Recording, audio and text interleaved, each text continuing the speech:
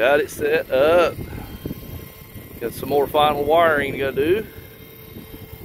Just got turned on. It's looking for the sun. It's over to the west.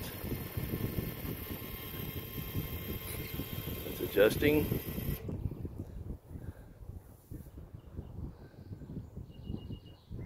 Sweet. I got a panel little small panel here, what it does is it goes in and it goes through a charge controller and it charges up a battery that is inside this watertight box.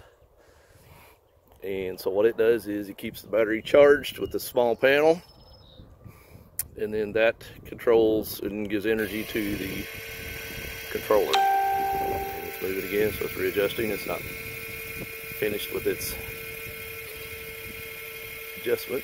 So it's sun is quite a ways to the west. It's going to be about maxed out here probably. Anyways, we're going to run it without the panels for a couple days. See how it does without any panels on it. Uh, checking, make sure we got slack and all the cabling. Everything seems to be doing fine.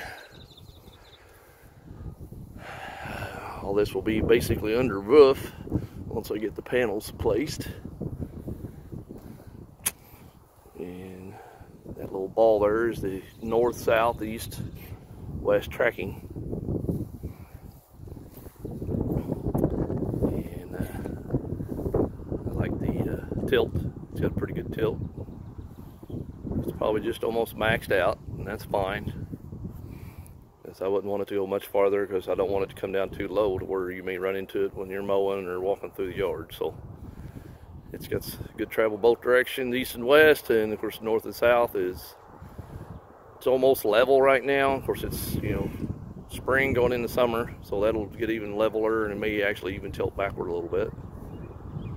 So so far so good. So we're gonna let it run.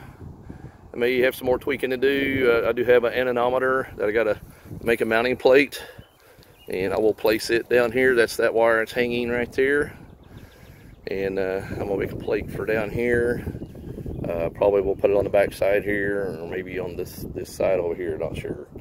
But uh, it will be set up to capture the wind speed. And if we start getting a lot of high wind speeds then that will actually cause the controller to level out the panels.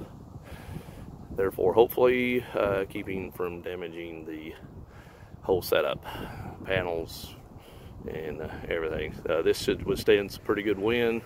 It's a uh, thick wall, uh, at least eighth, and some of it's 3 16ths aluminum tubing.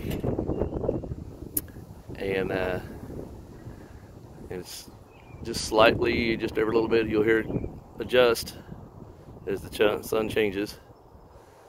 So, getting really close. A few more days here. Got to have some rain tomorrow, unfortunately, but uh, we'll be uh, getting the panels on it hopefully by the weekend.